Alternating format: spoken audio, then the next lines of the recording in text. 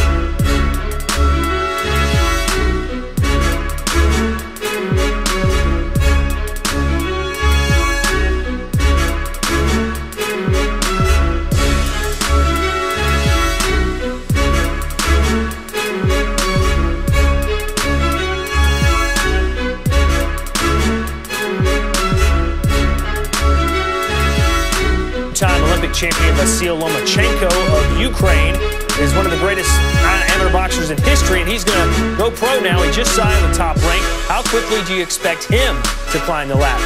Well, he is going to be the exact opposite of a guy like Zou Shiming, who's also with top rank. Lomachenko is a two-time Olympic gold medalist, one of the greatest amateurs we've ever seen. Has a professional style, very mature at 25 years old, but still has uh, you know that, that youthful exuberance, but also that veteran poise for, for a kid that's just going to be turning pro. So he's going to turn pro on October 12th on the undercard of the uh, Timothy Bradley Jr. Juan Manuel Marquez fight.